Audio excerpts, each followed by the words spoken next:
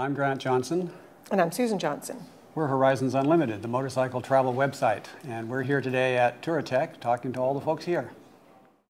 So our new series, which will be the first of a, of a, number of uh, titles we hope, uh, is called Road Heroes. And if you can characterize the Achievable Dream series as being the how-to, this is more of the why go.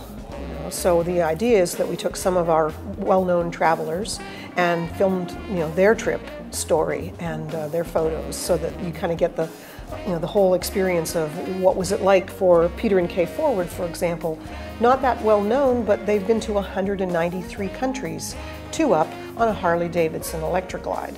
You know, so they've been to like every country in the Pacific and every country in Africa, and, and the logistics alone just blow you away. Um, Greg Frazier, five trips around the world on a number of different motorcycles. Uh, Tiffany Coates talks about Mongolian mayhem. Um, she's done a round the world trip and she usually travels solo or she's the, she's the main rider and she has pillion passengers. Uh, and Renee Cormier, who's just finished five years um, around the world uh, on, a, on a really tight budget, $25 a day. So we think that there's some really great stories and we've also got lots of other travelers that we're hoping to continue to, to do this as, a, as an ongoing series.